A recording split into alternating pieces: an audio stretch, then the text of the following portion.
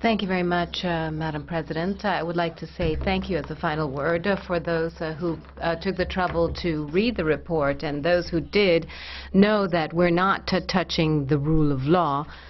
Uh, we're thinking about perhaps uh, a treaty change at some point down the road. That's something that's in the report. Uh, and we're not uh, presenting Eurobonds as a miracle cure. It's just another possibility. We're not hostile to structural reforms. Uh, and uh, there are some people who have taken this very personally and have exaggerated. Uh, but I did get the message, Commissioner, about the two-pack. we have worked very well.